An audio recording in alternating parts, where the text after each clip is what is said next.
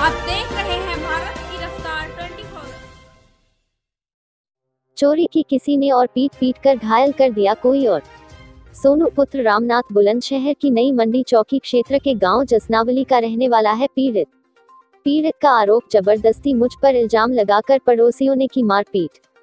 घायल करने के बाद पुलिस को बुलाकर मुझे करा दिया नई चौकी, पुलिस चौकी में बंद। मजदूरी करता है पीड़ित मजदूर। चार दिन तक घायल अवस्था में बिठाकर रखा बुलंदशहर नई मंडी चौकी परिसर में। पीड़ित का आरोप, दबंग लोगों ने की मारपीट, दबंगों ने पीट पीट कर कर दिया घायल। जिला हॉस्पिटल में चल रहा है उपचार, घायल का आरोप, एलईडी बल्ब का आरोप लगाकर कहा कि मेरे साथ की मारपीट। एलईडी बल्ब चोरी की किसी और ने मारपीट की, मेरे साथ घटना, सीसीटीवी कैमरे में हुई कैद। जैनब खान की रिपोर्ट। क्या नाम है आपका? जी सोनू। कहाँ के रहने वाले हैं आप? जसनावली कला। क्या मामला हो गया था? मारपीट किसने की है आपको? जी पिंटू नाम है और मुकेश नाम है। पिताजी का नाम उनके का सौराज है जी। एलईडी बल्ब किसी और ने उतारा जी। मुझे ज़बरदस्ती घर में बंद करके मारा है। और फिर एलईडी के लिए? जी मुझ पर आरोप लगाया गया है झूठा। और जी और जी क्या नाम है? 112 नंबर पर पुलिस बुला कर नहीं है फिर मुझे चार दिन बंद रखा है चौकी में। अब मेरी बुआ जी आई हैं उन्होंने मुझे छुटाया तुम्हारी कोई पुरानी रंजिश थी? जी नहीं कुछ नहीं है मेरी।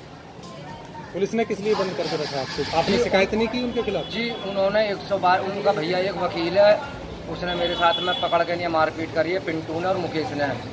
और भीतर बंद करके मारपीट करी है और 112 नंबर पर आई है पुलिस। किस बात को लेकर मार पिटाई कर रहे थे? एलईडी किसी और ने उतारी उतारी है। कहाँ से उतारी गई थी?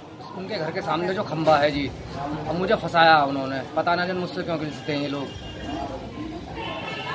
अब चार दिन तुम कोतवाली में रहे किसने छुड़ाया था आपको? जी मेरी बुआ जी आई थी मथुरा गई थी ये और बीजेपी में भी नेता हैं ये आई हैं इनको पता लगी है जब जाके मुझे छुड़ाया इन्होंने जा करके अभी भैया हमारी जो है ना शुरू से जो है कई साल से दस पंद्रह साल हो गए जैसे हमारी चेड़ चल रही है।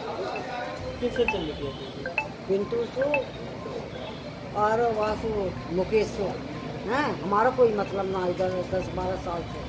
ठीक है? हमारा कनेक्शन भी है उनसे। और जो है मतलब अब उन्होंने दुश्मनी निभाई है, जो है, हम्मा के धोरैया ने थोड़ी सा नशे में आया। दीवार की यहाँ खींच के ले गए जब भी तो कैमरा चला रहा गए जब खींच के ले गए, और भीतर जब मारा पीटा, जब कैमरा भी और बिजली सब बंद कर दिए, हम साफ़ लोग बाहर बालकनी में। ऐसे छोटे हमारे तीन बालक हैं। दो लड़का और एक लड़का। हैं? मेरे आदमी है नहीं विधवा। हैं? मुँह पर ज़मीन नहीं जायदाद नहीं कुछ भी। रोज आकर जाते हैं रोज खाते हैं जाकर। बेटे के साथ मारपीट किस लिए की उसके मुकेश ने और पिंटू ने। क्यों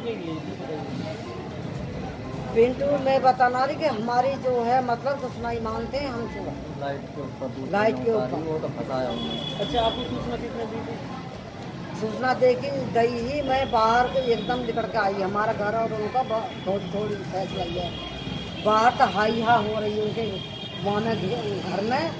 तो मैंने जो है वहाँ खम्मा के थोड़ा जाकर मैंने कान लगाई तब मेरे बेटा की आवाज़ आई वो चिल्लाने की कह रहे वो मत मारा। वो मत मारा।